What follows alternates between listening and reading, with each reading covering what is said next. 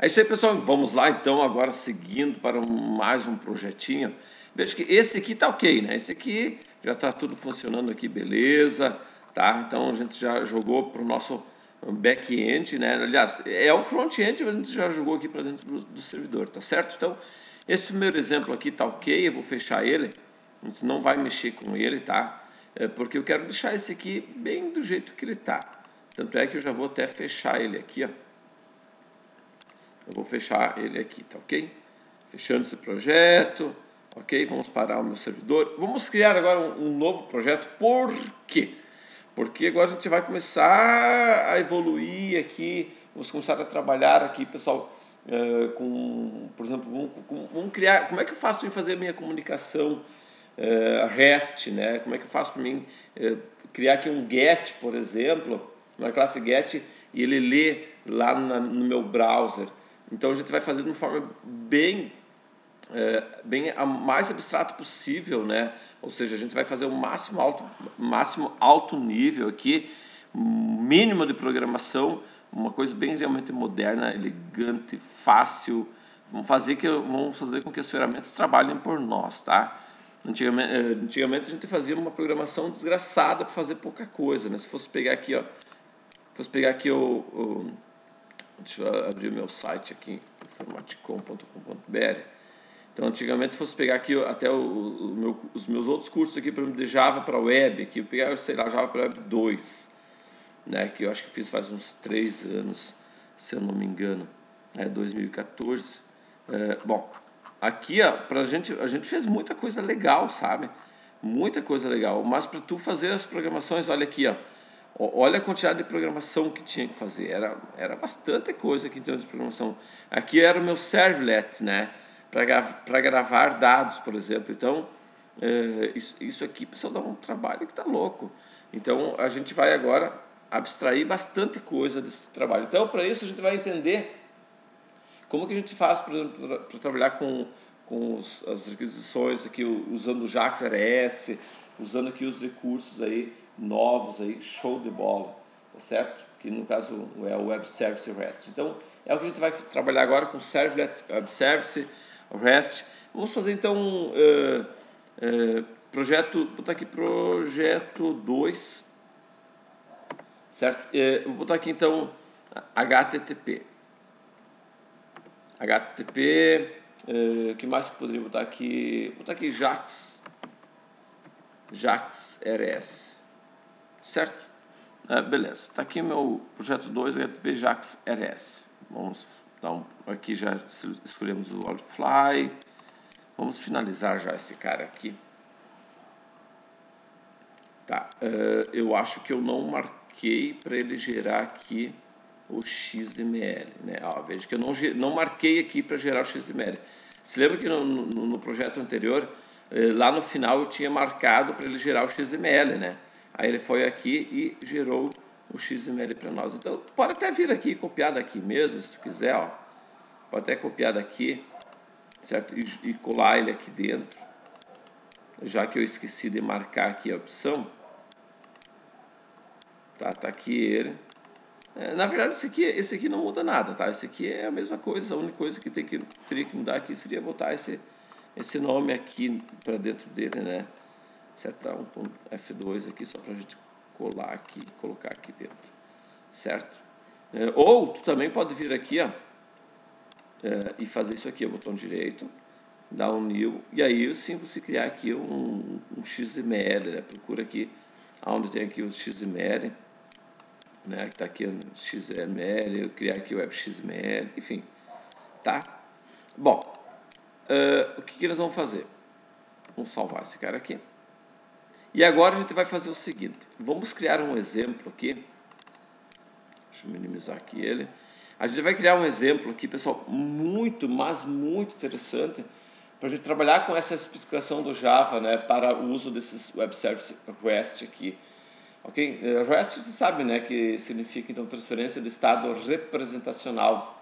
Tá certo? Então, o que ele é? Um tipo de arquitetura justamente para sistemas distribuídos. Ele surgiu lá em 2000, lá, foi a tese de doutorado lá do cara chamado Roy.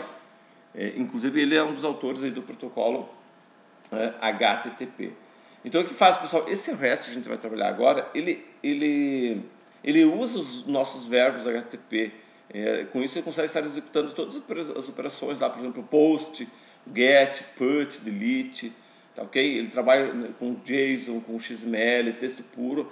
E no caso desse eh, JAX RS que a gente vai estar trabalhando agora, ele inclusive retorna um objeto Java, ou seja, além do JSON, além do texto puro, além do XML, ele também trabalha com ele, com, ele vai retornar também um objeto Java, tá certo?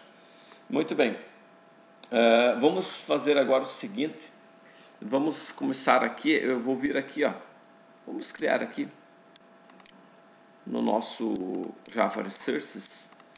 Então aqui a gente vai trabalhar com o nosso primeiro exemplo aqui propriamente dito. Vamos criar uma classe aqui, ó.